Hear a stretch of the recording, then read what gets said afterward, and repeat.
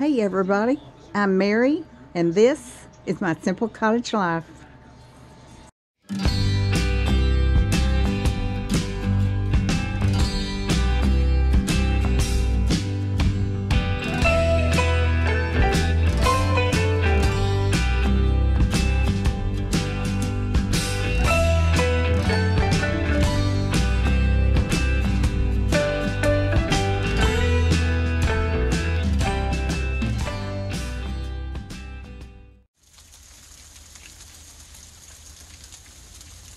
Y'all see that pickup? Boy, he is barely moving down the road. Smart fella. The problem is there's so much snow on the road that you can't tell where the road stops and the ditch begins. So there are people that are running off in the ditch around here, and we have a group here called the Jeep Guys and they will go around and give people rides, pull you out of ditches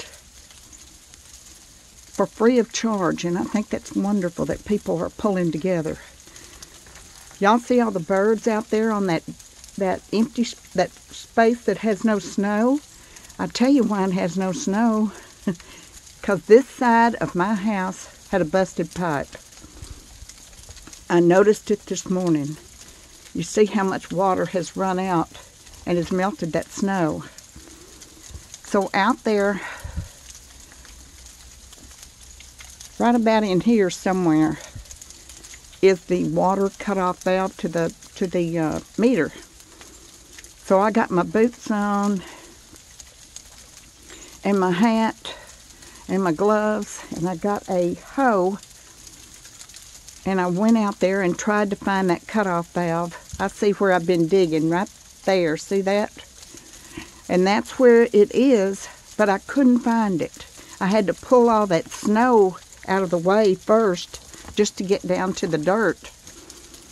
But during the mowing, during the summer, all that was covered up in layers of dirt, and I can't find it to save my life. And I worked and worked, and of course I'm breathing through my mouth, and I'm just wheezing and it, sounded pretty terrible. And all of a sudden it hit me that I have a cutoff valve on this house. So I went around the side of the house and I know exactly where that cutoff valve is. And I kind of dug down in there a little bit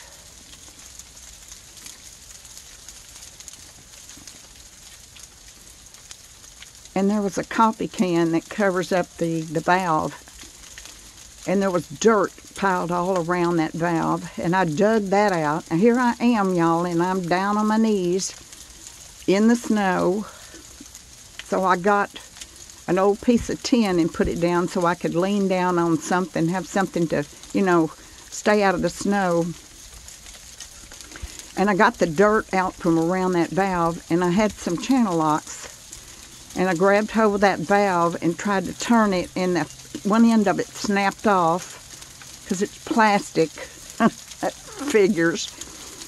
So then I came in and I got a thing of pliers and I went out and easy easy tried to turn the other end that wasn't snapped off. And finally I got the water turned off. Success! Yay me!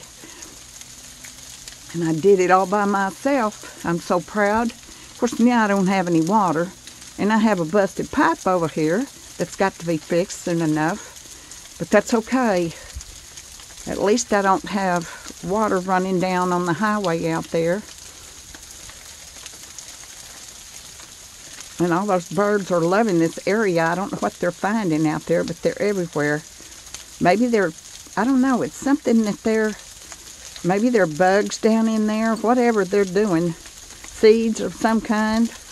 But they're looking for food. Later on, I will get out here and get the... See, I've, I've got my steps kind of cleaned up. I put salt. I don't have any rock salt, but I have table salt. That works for me.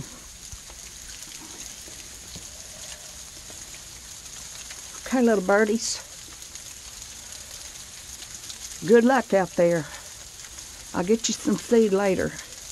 Okay, for now, I have no water, but thank goodness I have a little bit.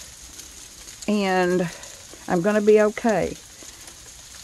Uh, by the grace of God, we still have power, so I still have some heat. I'm doing okay.